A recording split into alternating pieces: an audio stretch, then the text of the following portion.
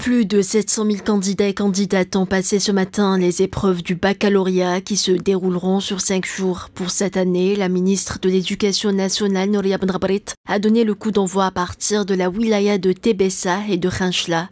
Et pour avoir la réaction des candidats, nos équipes se sont déplacées à l'un des centres d'examen.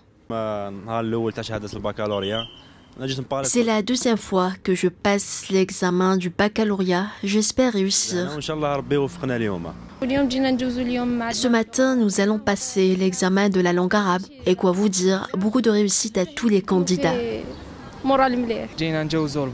Je souhaite beaucoup de réussite à tous les candidats. J'espère que les sujets seront abordables. Mon souhait est que mes parents soient fiers de moi. Rappelons que pour assurer la sécurité des centres d'examen et un déroulement dans le calme et la sérénité des épreuves, le commandement de la Gendarmerie nationale a mis sur pied un plan spécial en coordination avec le ministère de l'Éducation nationale. Il est ainsi prévu l'accompagnement et la, protection de l'acheminement des sujets à partir des directions de l'éducation jusqu'au centre d'examen.